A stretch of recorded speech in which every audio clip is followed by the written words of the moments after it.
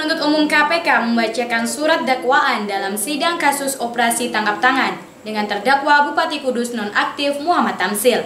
Dalam dakwaan tersebut, terdakwa diduga menerima suap dan gratifikasi senilai 3,325 miliar rupiah.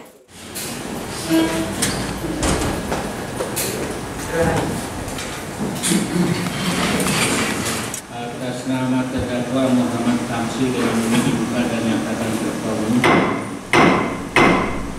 Bupati Kudus nonaktif Muhammad Tamsil didakwa menerima suap dan gratifikasi yang seluruhnya berjumlah 3,325 miliar rupiah dengan rincian 2,575 miliar gratifikasi dari aparat sipil negara serta 750 juta rupiah dari Ahmad Sofian melalui Agus Kroto. Suap maupun gratifikasi tersebut berhubungan dengan jabatan dan berlawanan dengan kewajiban atau tugas Tamsil sebagai Bupati Kudus. Selain itu, Jaksa Penuntut Umum KPK Hairudin Gratifikasi yang diterima Tamsil di antaranya berasal dari PLT Kepala Dinas Pekerjaan Umum dan Perumahan Rakyat Kudus, Heru Subiantoko, dengan total keseluruhan berjumlah 900 juta rupiah. Uang tersebut diperoleh Heru dari beberapa rekanan kontraktor yang kerap mengerjakan proyek-proyek di Kabupaten Kudus. Menanggapi dakwaan tersebut, Tamsil mengajukan eksepsi yang akan diajukan Senin mendatang. Selain itu, Tamsil juga mengajukan pemindahan tempat penahanan dari Rutan Polda Jawa Tengah ke Lapas Gedung Pani Semarang. Namun di sisi lain permohonan tersebut ditanggapi berbeda dari Jaksa Penuntut Umum KPK. Jaksa merasa keberatan mengingat ada sejumlah saksi di Lapas Kedung Pane Semarang yang berkaitan dengan perkara tersebut, di antaranya Ahmad Sofian dan Agus Kroto. Pada sidang yang dipimpin Ketua Majelis Hakim Sulistiono tersebut, Tamsil dijerat dengan pasal 11 Undang-Undang Nomor 31 Tahun 1999 tentang pemberantasan tindak pidana korupsi sebagaimana diubah dengan Undang-Undang Nomor 20 Tahun 2001 Junto pasal 55 ayat 1 KUHP dan pasal 12 huruf B undang-undang yang sama.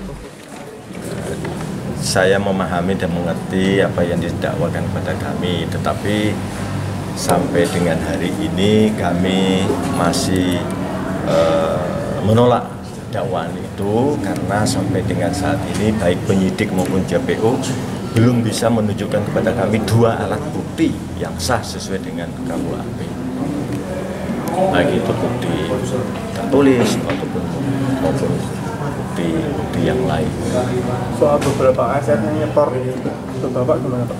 Bahwa itu saya ini kan istilahnya tidak pernah menerima karena saya ini dijual nama saya atas nama bupati dan tadi kan dari dakwaannya bahwa si A menyerahkan kepada si B, misalnya Heru Subianto. Itu katanya kebutuhannya untuk bupati, tapi kan tidak diserahkan ke saya. Jadi uang 900 juta rupiah itu tidak tidak diserahkan kepada saya, tapi diserahkan kepada orang lain dan tanpa sepengetahuan saya. Kemudian Joko Susilo juga demikian. Yang 500 juta itu juga saya tidak tahu menahu, termasuk yang 300 juta. Jadi selama ini saya khususnya pada kejadian OTT juga saya tidak tahu menahu tentang transaksi-transaksi uang itu. Berarti dicatut ya Pak? Saya dicatut namanya. Sementara itu Ahmad Sofian difonis 2 tahun 2 bulan kurungan penjara dengan denda 50 juta rupiah. Dengan ketentuan jika denda tidak dibayarkan akan diganti dengan hukuman 2 bulan kurungan penjara. Ahmad Sofian dinilai bersalah dan terbukti memberikan uang suap dengan total 750 juta rupiah kepada Tamsil. Suap tersebut berkaitan dengan promosi jabatan dirinya dan sang istri Rini Kartika Hadi Rahmawati. Tim Liputan, mitrapos.com melaporkan.